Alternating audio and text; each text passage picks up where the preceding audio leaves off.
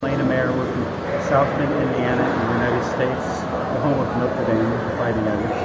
I just wanted to say that we really enjoy uh, our membership here at the Grand Sirenis de Riviera Maya. We've been members for more than three years. This is our fifth trip here in Mexico. And uh, we love our room, the amenities, the restaurants, and especially the friendliness and the courtesy that we're treated with by the staff here. Uh, special thanks to Denise Patino, who has really made this a, a wonderful experience.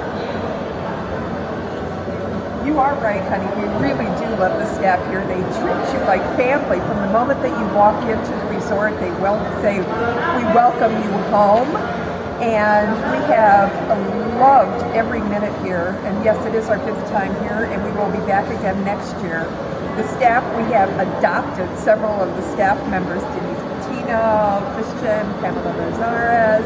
They have treated us like family, and we love them dearly. We look forward to our next visit. Thank you.